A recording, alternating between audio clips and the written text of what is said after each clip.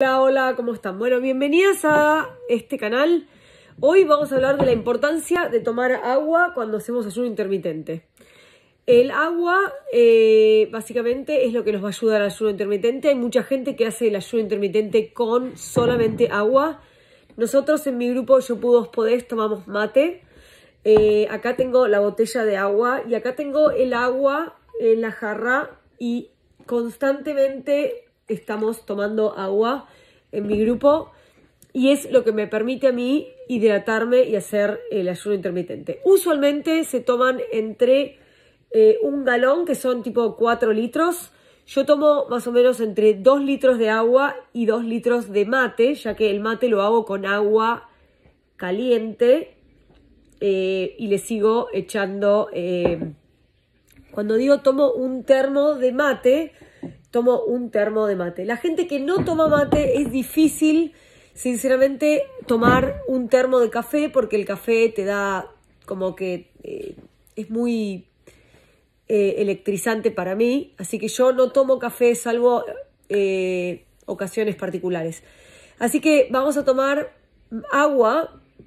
Le podemos poner un poquito de sea salt al agua, una pizca de sea salt, por ejemplo, así eh, al termo o misma al agua porque a veces puede ser que nos baje un poco la presión cuando estamos haciendo ayuno intermitente.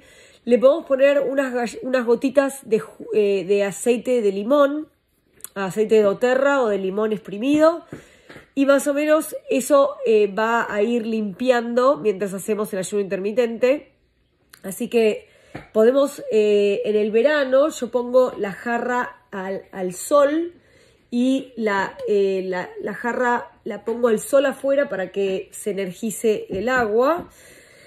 Y también a veces lo que se puede hacer es tomar eh, agua tibia con limón en la mañana cuando empezamos a hacer el ayuno, cuando, cuando nos despertamos, nos lavamos los dientes y hacemos el ayuno con agua.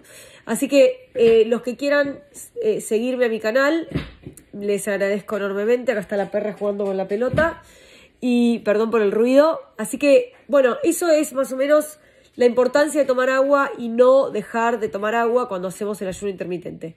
Ahora en mi canal pueden ver más videos de eh, cómo hacemos el ayuno con el mate. Muchas gracias y espero que me cuenten acá cómo van.